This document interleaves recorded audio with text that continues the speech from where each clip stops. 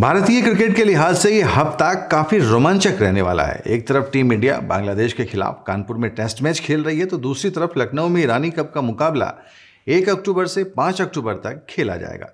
ईरानी cup के लिए मूल रूप से मुंबई को चुना गया था, लेकिन मौसम की खराब स्थिति के कारण इसे लखनऊ शिफ्ट कर दिया गया है।